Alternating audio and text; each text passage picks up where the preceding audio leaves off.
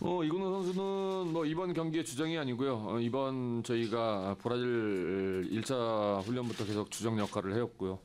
뭐 Lee 충분히 Kyung-ho is not just the captain for this match, 음, but also for all of the camp. 뭐 충분히 이 리더십을 발휘할 수 어, 있고 또 어, 새로운 선수도 많이 있고 하지만 뭐 이근호 선수는 I think he has a lot of experience in 예, leadership, so he can help all the young players in the team. 어, 어느 누구보다 어, 세- 어리고 새로운 선수들을 도와줄 수 있다라는 측면에서 주장을 선임했습니다. 어 솔직히 기대는 안 하고 왔었는데 주장이라는 어 I did not expect to be a captain of 된 this camp. 영광스럽게 생각을 하고요.